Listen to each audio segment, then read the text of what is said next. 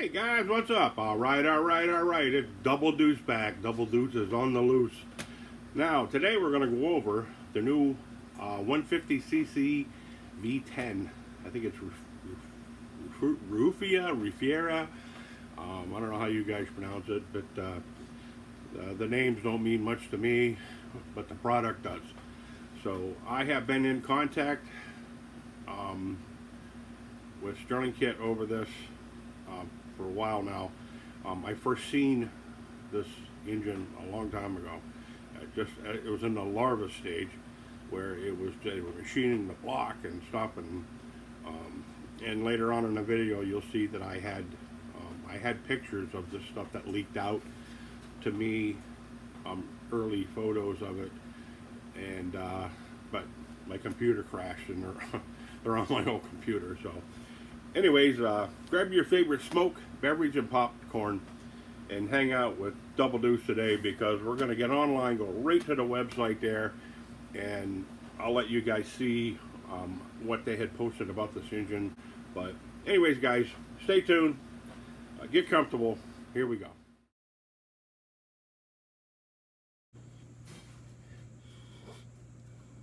Okay, so here we are. We're actually getting on the um, Rufia 150cc V10.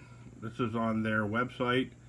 Um, and I'll also, I'm going to include the links for both of these, but I wanted to go over some things. If you look down through here, we'll hit some specifications. There's a couple of videos here you know, there's one running. There's one running.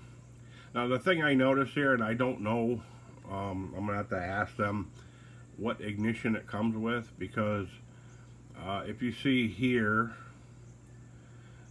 there's a coil on plug, and down here is just spark plug. So I don't know what the configuration is on the one you buy.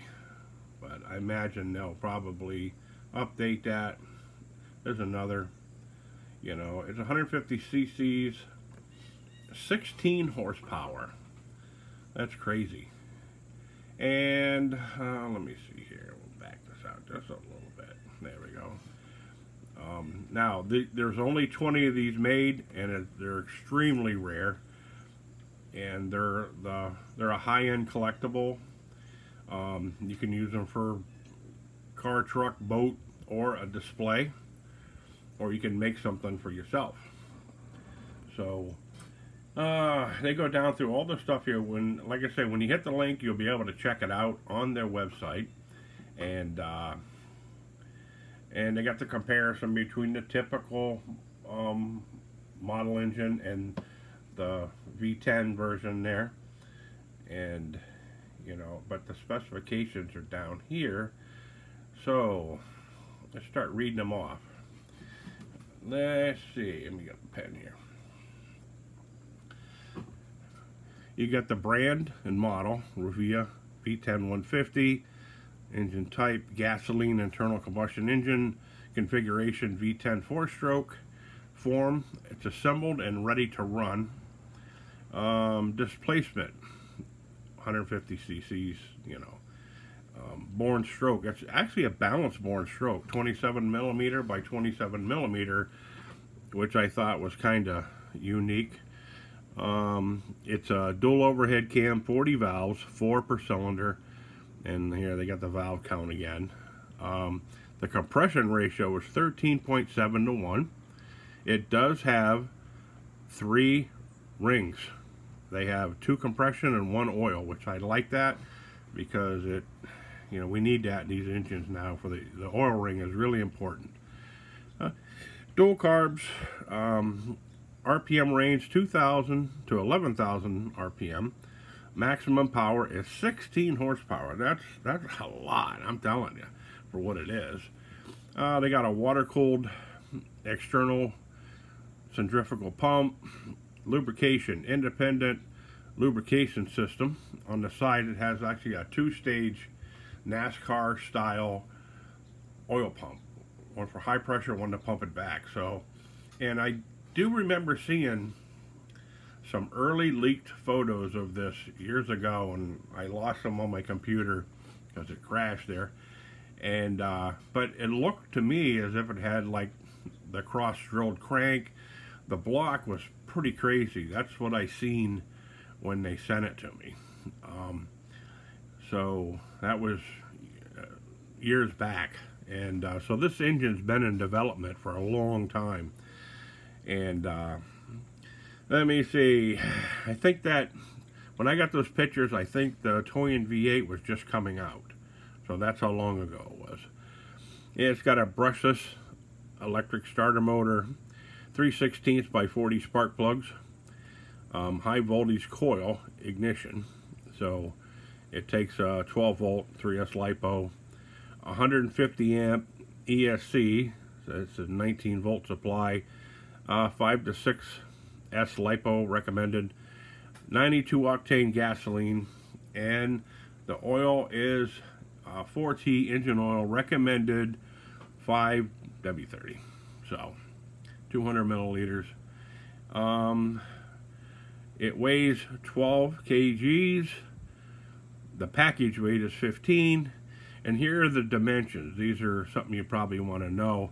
Um, 25.3 by 23.1 by 24.5 centimeters. That's the size of it. And of course, your package dimensions are 40 by 35 by 35 centimeters. Um, packaging, it says aluminum carry case, and your recommended age is 18 plus. So they go down through here and they give you a lot of, um, you know, answers to a lot of questions you guys are going to have.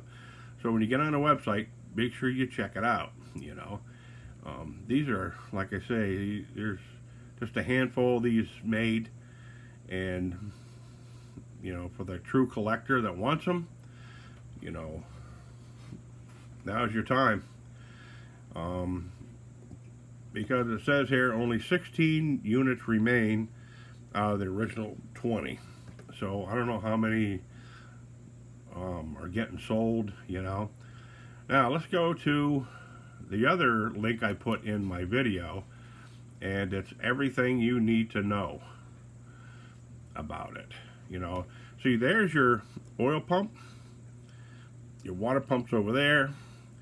Um, it has like headers on it and really nice machine work on this thing and it has a really cool looking um, air gap intake on it. And like I said they go through a lot of the same information here but they get into some details. So the ignition's a CDI ignition with um, dual hall sensors. So uh, you know it's we're learning here but um,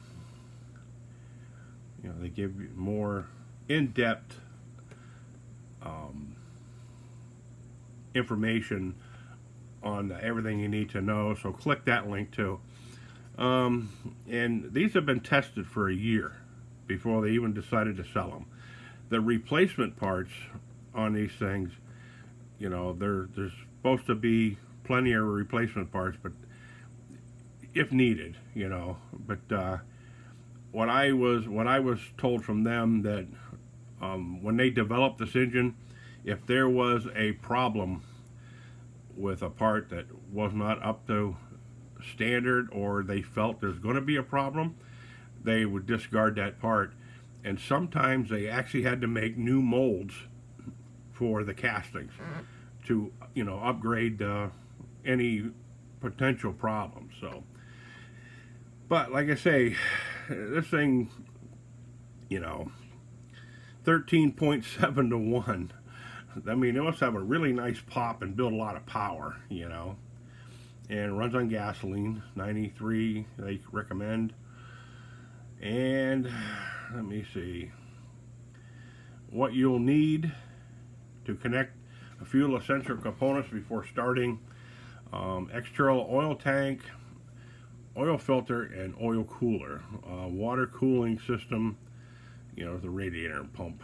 Um, but, you know, fuel tank and fuel line, CDI ignition system. So I don't know, you just have to prepare this stuff, and you'll need um, some batteries, one for your ignition, one to start it, or two to start it, and uh, they they really go down through a lot of the um, questions that we would ask. They give you the the cylinder firing order, you know, the left bank, one, two, three, four, five, six, seven, eight, nine, ten, and uh, you know they one through five is six through ten.